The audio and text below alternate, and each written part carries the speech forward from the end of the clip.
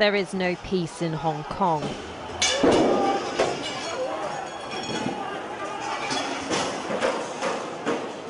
Angry and afraid, the youth have mobilised.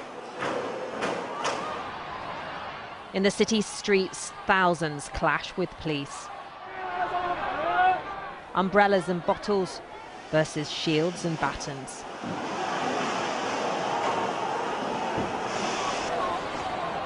Through clouds of tear gas, they push forward. Tensions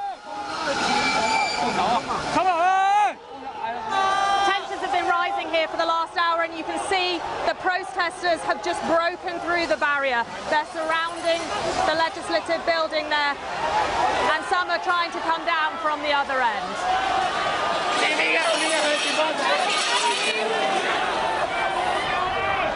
Their aim to breach Parliament, to stop an extradition bill they believe puts their freedoms at risk from China.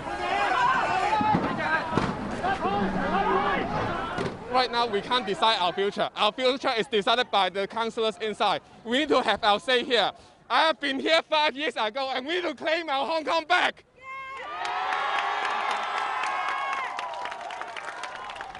Demonstrators came prepared for trouble, but many felt it was an unfair fight.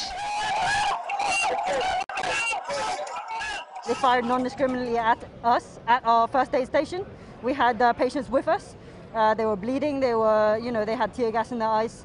Uh, we just want, we just want the world to know that we're angry, that the police use uh, un- un- unruly brutality against us. But the violence is escalating. Some gathered bricks and sharpened sticks.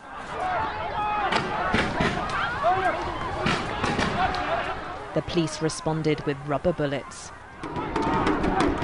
And while protesters have managed to delay a debate on the bill, Hong Kong's leader isn't backing down. 话我卖港，我点样去卖港？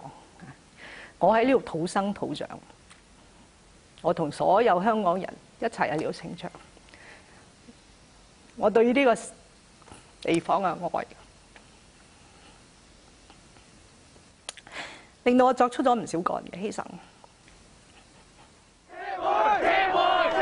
And so it seems this city will fight on, tearing itself apart with no sign of a resolution. Siobhan Robbins, Sky News, Hong Kong.